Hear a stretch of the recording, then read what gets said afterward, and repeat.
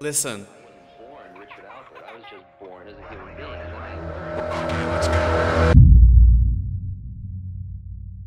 Last year, I was taken by some beings called Tralfamadorians to their planet, where I was examined and exhibited in a zoo. There they taught me many important truths, especially about the fourth dimension of time. Tralfamadorians. Yes, and they communicate using telepathy. But the special thing is, they can see in four dimensions all moments, past, present, and future, always have existed and always will exist. That a moment follows another one, and that once a moment is gone, it is gone forever. It's just an illusion we have here on Earth. They can look at all the different moments, just the way that we can see a stretch of the Rocky Mountains, for instance. They can see how permanent all the moments are, and they can choose a particular moment which interests them. And that explains so much about my own time traveling. I've been unstuck in time since the war.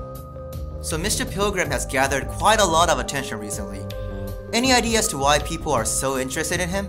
Well, Billy fits the characteristic of a typical alien abduction believer, but in some ways he is unique. How? Well, the story about him being kidnapped and examined and the forced sex thing, that's not very unusual. And even the thing about aliens telling him the truth about time, that's not very new. But the thing about him being unstuck in time, however, that's a bit different. For example, the thing about people's memory. I really don't understand why everyone's so interested in my father. I think the attention just makes everything worse. I need to go get ready for school if you'll excuse me. Hey, wait, wait, wait, wait. We still need to ask. Last year was tough for all of us. There was that awful plane crash where dad got hurt and my grandpa died and my mom had to go kill herself with the car. And I was all by myself. Robert is at a college and dad couldn't even make it to the funeral. So I took care of that. I'm only 15. I don't know why Barbara is so upset about that. The most important thing I learned on Tralfamadore is that when a person dies, she only appears to die. She is still very much alive in the past. So it is very silly for people to cry at a funeral. The plane crashed, people died, my father died, my wife as well. So it goes. They are in a bad condition, dead, in this particular moment, but in all the other moments, they are just fine. Fine, he said that? What's up with him? All this Tralfama, Tralfamadose stuff? I thought it was the medication at first, you know? But now... It's freezing in here. You're gonna kill yourself if I'm not here. You're supposed to be my father taking care of me. Wait, don't just walk away. I could kill that trapped woman. The war messed us all up, but I think Pilgrim was messed up more than the rest of us. He was screaming, kicking so much that none of us wanted to sleep him. And we were at the highway, the highway of death.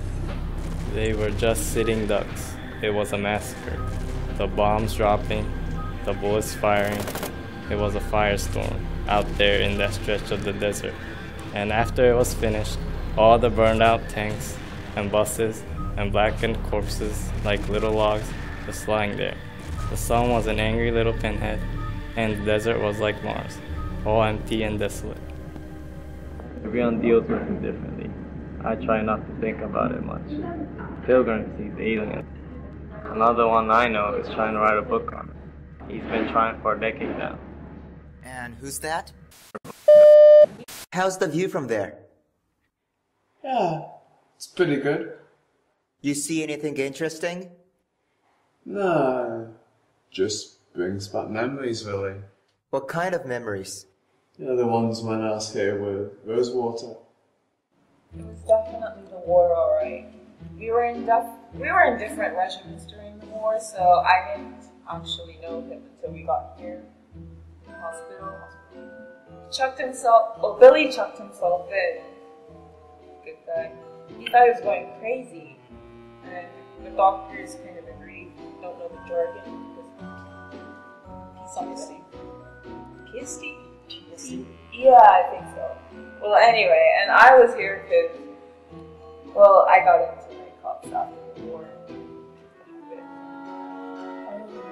Yeah, and well, eventually he got himself fixed, married that fiance with his girl, and I never managed to kick the habit and became a repeat visitor. But what was I saying? Oh yes, yes. Uh, what we shared was well, apart from rooms and What? You guys share rooms? no, no, no, sorry. We didn't share rooms, but we shared the same floor, the same ward. But we were mostly in the lounge, so it seemed like we were sharing rooms. Sorry. My memory these days is highly unreliable. Oh, that's alright. But, uh, yes, where was I? You keep cutting me off You're track. talking, you were But- about you're sharing, sharing rooms? Well, not, not dorms. You were sharing Yeah, we were in the same ward, and what we sh- also shared was that we both found life utterly without meaning after the war, after what we'd seen, all those fires. I ended up introducing him to sci-fi and Theodore Trout. Because now the Brothers Karamazov just weren't enough anymore. And she wrote like 75 novels, 100 short stories or something. Yeah. But I've got almost all of it. Almost all of them. Do you buy this stuff? I mean, Amazon or what? Um, now you can get them on On Amazon. Amazon, really? Wow. It's really cheap too. It's like a dollar fifty or something. I mean, it's crap, so. Yeah, I know the writing's crap, but the ideas they're good. My god. The woman, she can't write to save her life, but her ideas. She could be president of the world. Wait, I'm sorry. Trout. You don't, you don't know her? Theodore Trout? Sci-fi writer? woman? Um, no, I don't think so. It doesn't ring any bells. Huh. Well, her ideas are just great. I mean, sure, she kind of focuses on America and all, but they definitely changed my life. And I was hearing about the details about Billy. I'm pretty sure they definitely changed his life too. Oh, talked about lots of stuff, really. Hmm. For example, um, yeah, Trout. We used to always talk about her books. Yeah, it used to interest us a lot. I first met Bully two years ago. I was directing those lazy kids and delivering newspapers when he came up to me. I was flabbergasted that anyone even knew I wrote books. Getting some more attentions these days, though.